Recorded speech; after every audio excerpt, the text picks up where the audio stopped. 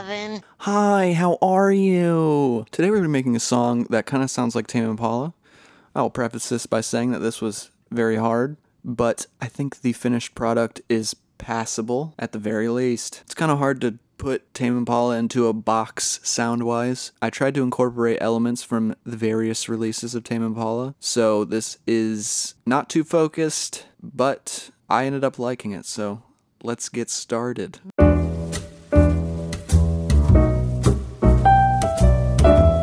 This song is not going to end up being the length of your average Tame Impala song. I just put in the various sections for explanation's sake. I'm not trying to change the world with this song. I think we can all agree that Kevin Parker likes himself some bass, so that's where I started. I wanted to go for the the less I know the better type feel. But that's not the only song where the bass is a very key element, but I feel like it's the one that comes to all of our minds.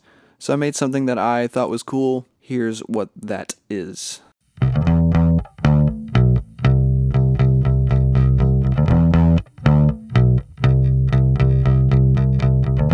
Bass, I used the Stereo Traveler preset and I turned off the spreader. It was it just sounded kind of like Tame Impala to me, so that's what I used. We're gonna do drums now just to fill out the rest of the rhythm section. Lately, Tame Impala has kept it pretty disco, so that's the place I went. I used Hi-Fi Pop as the drum set because it sounded close the closest to me. I don't know, not much to elaborate on.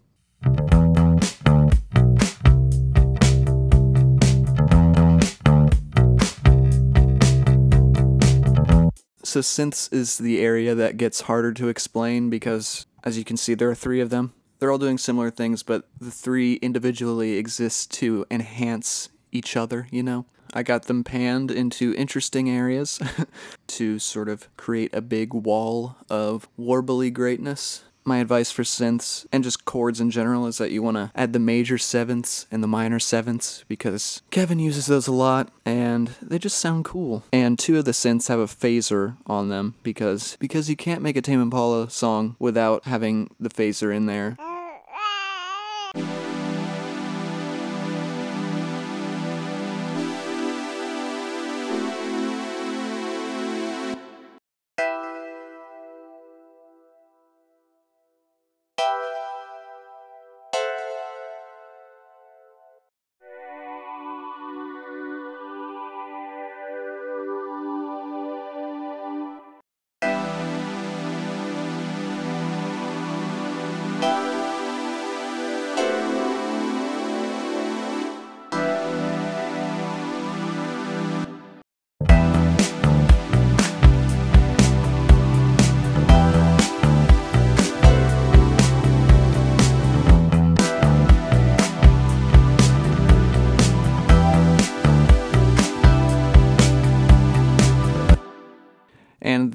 Guitar preset thing I used was a uh, a Vox inspired preset because Kevin uses a Vox AC30. Specific notes about composition here and things that Kevin likes to do. He likes drum fills and the drum fills usually are not just a quick blip and then into the next section. They are drawn out in the best way. That is not a diss. I like that. And he's just a really good drummer. Not saying that these drum fills are expertly crafted, but you know, they sounded okay.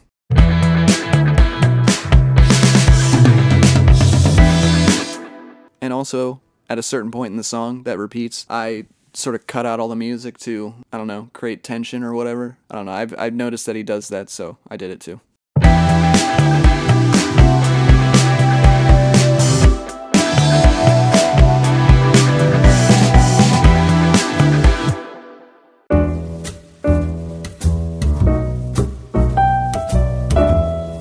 Verse, I did a thing where I just made the bass play one note and then I just had everything else change the context of that note to make it fit into different chords. I shamefully based that off of this video you're seeing on screen. You should go watch it because it's really cool and it's just a fine example of, you know, just crafting a song for fun, like we're doing right here.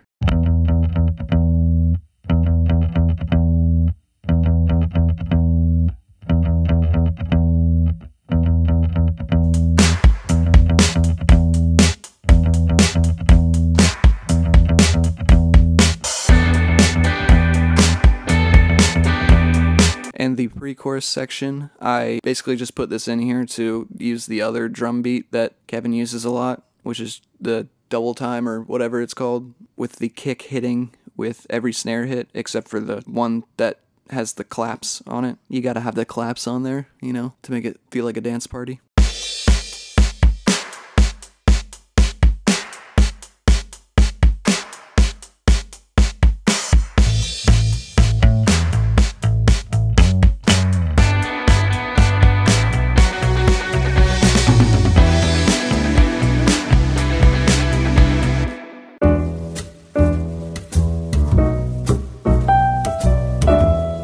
So this is the part that I really like. It's the closest I've gotten to the Tame Impala fuzz guitar sound. To get this sound, I used the tube burner pedal in the pedal board section. But yeah, that gets pretty close to the sound I was looking for. Again, I've shamefully copied. Basically, the bridge is based off of both Let It Happen and Why Won't You Make Up Your Mind. We're just getting dangerously close to almost doing everything verbatim that Kevin does. I would not advise doing this in your own music. I'm just doing that for the sake of explanation and showing all the various elements that you could take away from this and put into your own songs.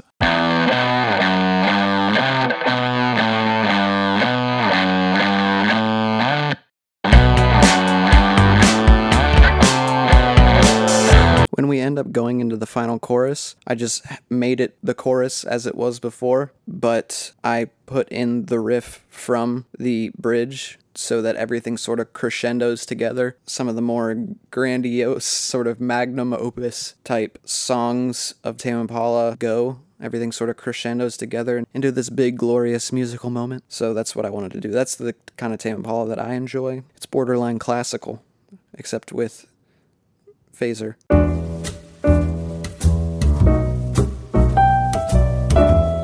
Tame Impala lyrics tend to revolve around loneliness, you know, lonerism. A lover, because why not? You gotta put that in there. Time, because that's basically what the newest album, The Slow Rush, was all about. And changing your mindset, and that's what I found a lot of currents to be about. Just basically mixing everything into one song. I actually don't know what my final product ended up being about, but I don't know. I tried to fit lyrical themes and stuff, but you know, you be the judge of that. Also, my falsetto singing leaves a lot to be desired, and the vocals don't really sound much like Tame Impala at all, but I was just, whatever. We're having fun, right? Anyway, without further ado, here's what the final product was.